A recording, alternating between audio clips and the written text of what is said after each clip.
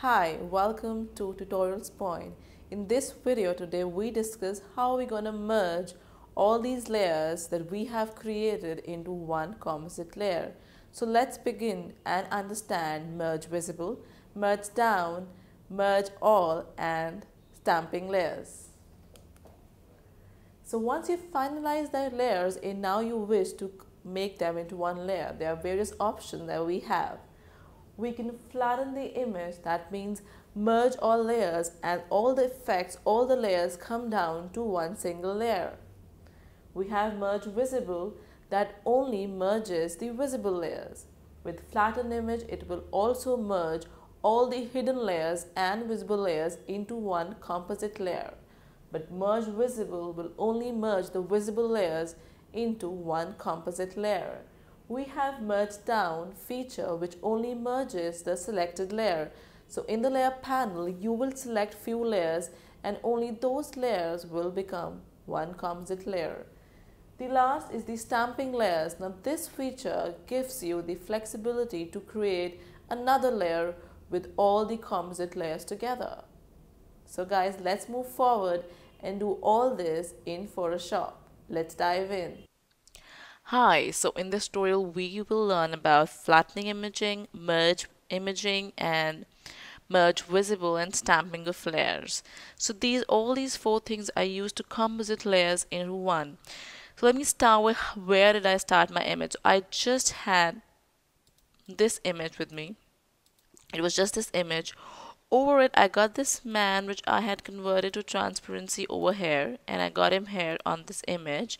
And then I did not like his shirt color so I did this and changed his shirt color to black. And also applied a filter which converted the background layer to grayscale but I did not like it so I'm not going to use it. I'm just going to keep it invisible. Now if I go ahead and do merge visible it's just gonna see. So my merge background copy has this man pasted on it. So with merge visible merges only the visible layer. Now let me undo and let me type in this thing flatten image. I'm not gonna do that but flatten image actually merges all the layers whereas merge visible only merges the visible layers. Now, I always want this man. I want this man and this t-shirt color you know where this man should have the t-shirt color. Now I don't want to go with that gray color. So I'm gonna merge this color.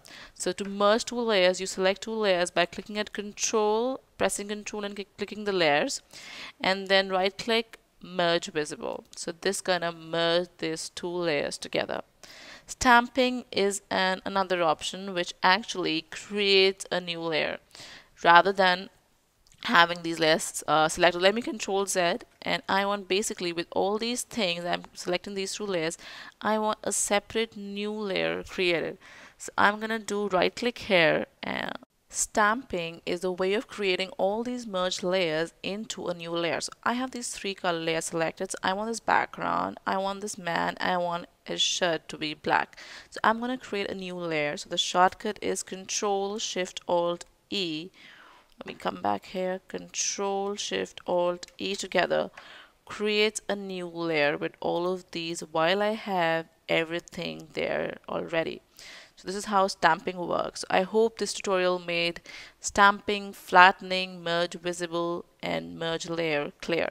So again flattening will basically combine all layers. Merge visible will merge only the visible layers and the merge layer will select the merge down will select only the selected layers and stamping will create a new layer with your selected layers.